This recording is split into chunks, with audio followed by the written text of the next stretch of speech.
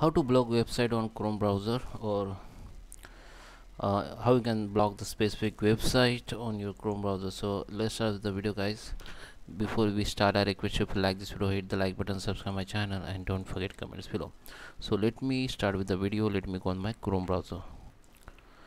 So here uh, in this chrome browser you can uh, you know uh, block the particular website so I can do this? Go this three dot option go to the settings and now go to the privacy and security.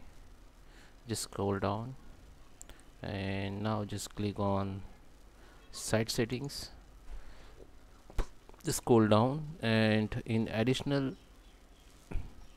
content setting you have to click down arrow and click on the insecure content and here you can see the two option which is not allowed to show insecure content or allowed to show insecure content. So here in uh, in order to block the any website you have to add this website in this section.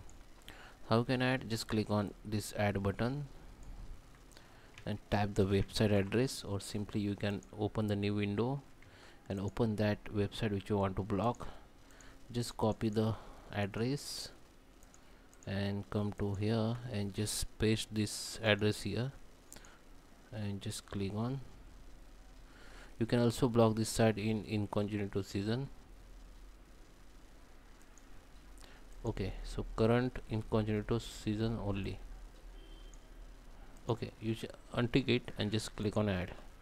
So it will be blocked for from the chrome. Okay so that is how you can uh, block the particular website from chrome and if you want to block permanently uh, any website from chrome uh, and uh, I, I just uh, I this this steps I have explained with the, my in my another video. You can check uh, link in the description and you can check out.